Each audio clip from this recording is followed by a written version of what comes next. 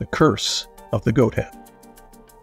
There are many things in our natural world that should be feared, or at least respected. But then, there are those things which are feared and probably don't need to be. But the great outdoors has all kinds of hazards, most of which can be avoided with a little knowledge and awareness. These might include those things that want to kill you, and worse yet, the things that just want you to suffer. I'll explain why this may be worse a little later on. Fear. Justified. Take the big old hairy tarantula spider, for example. Many might find such a beastie and turn and run. Some might even add a good scream just for effect. But the tarantula spider is not likely to want to bite you. They'd much rather just avoid you. But even if you are somehow able to convince one that biting you is its best course of action, it's not likely to hurt you too bad. Though you probably have nightmares about it, the bite is about as dangerous as a bee sting, which is really only dangerous when you're allergic. And unlike bees, wasps, and other yellow and black menaces, the tarantula is not likely to recruit an army of friends and chase you down just to prove their point. In fact, common bees generally won't do that either. But to be sure, some bees are just class A jerks. The great outdoors has more to throw at us. You've got the snakes and the apex predators and the bears and the wildcats and several varieties of creepy crawlies like spiders and scorpions. However, out in the country, the stuff that you can fall off of, get drowned in, or just spend too much time trying to experience without a good clean source of water, are much more likely to leave you in a bad way. But if you take a few precautions, your odds of coming out of the wild unscathed are quite good. Maybe better than a lot of the bigger cities. If ye are prepared, ye shall not fear. Here's some examples.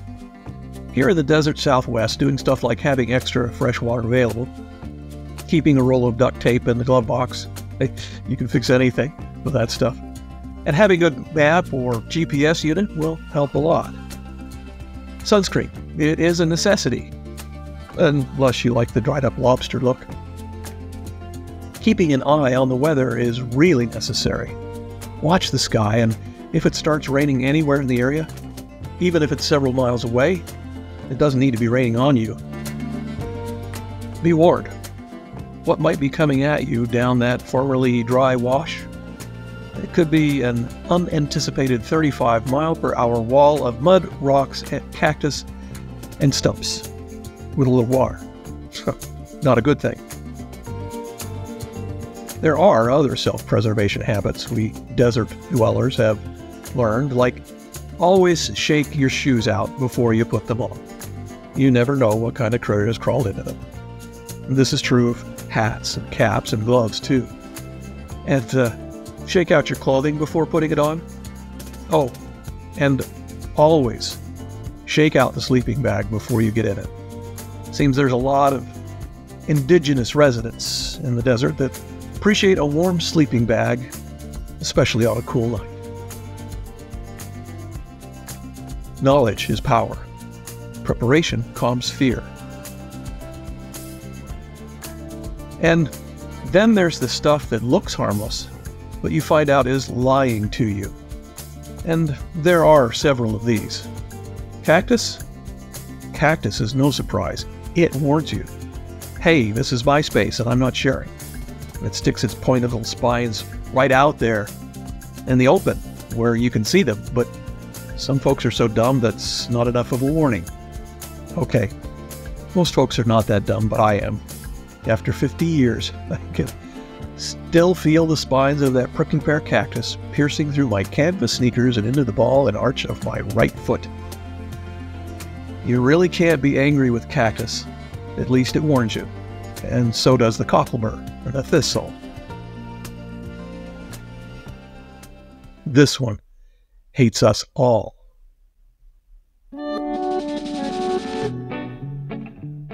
But of the innocent pretenders, this one is the notorious nightmare.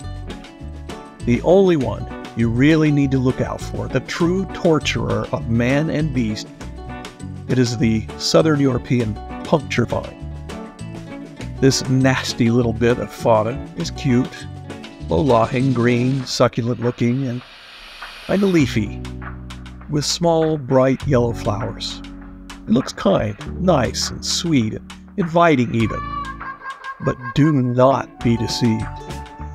This is no harmless little plant. It is noxious, poisonous, and mean. And it's packing a concealed weapon.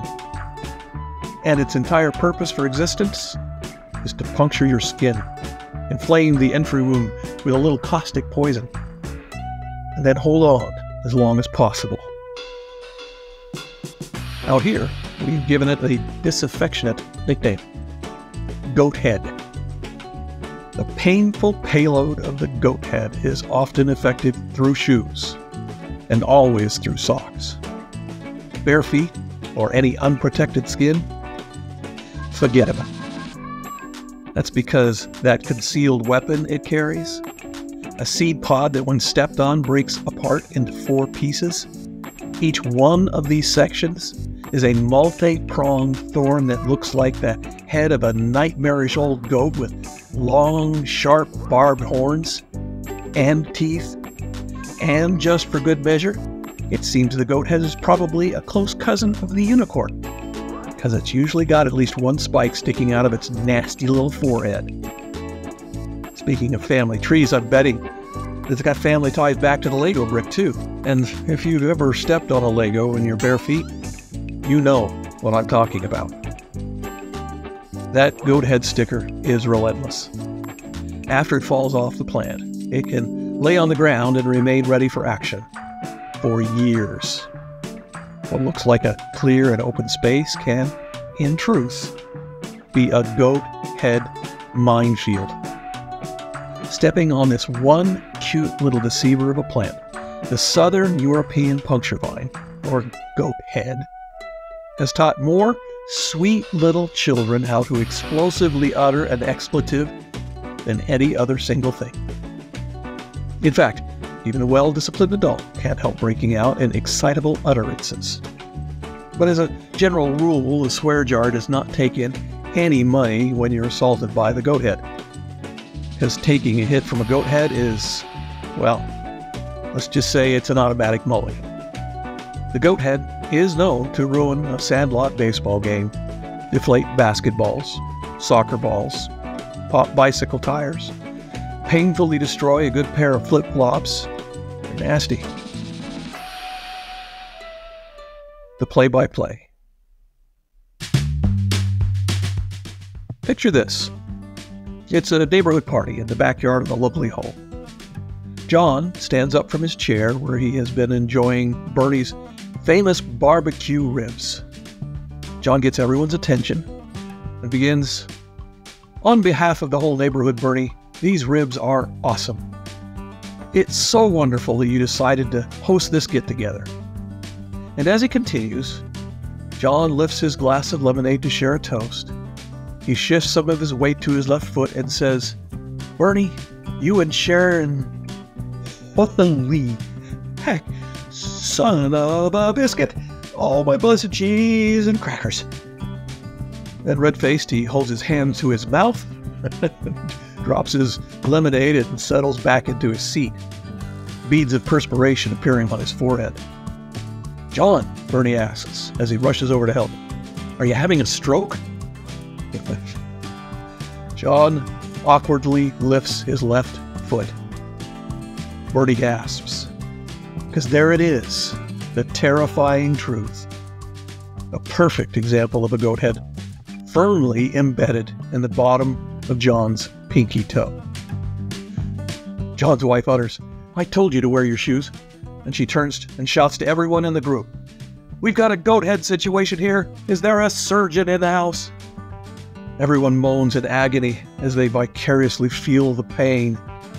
A pain they all know all too well. And no one takes another step because even in Bernie's beautiful manicured lawn, where there's one goat head, there's going to be more. and nobody wants to be the next victim. Okay, maybe I'm exaggerating a bit. But it really does hurt that bad sometimes. Like poison ivy, the goat head looks innocent, even kind of attractive if you didn't know any better. But don't let your guard down. It will make you curse. So here's an emphasis from our brief look at the horrid and deceptive goat head and its place in the natural world. And just as with any story, there are many little ounce sized nuggets of wisdom to be uncovered. But for now, may I suggest just this one. There are so many things out there that seem so dangerous.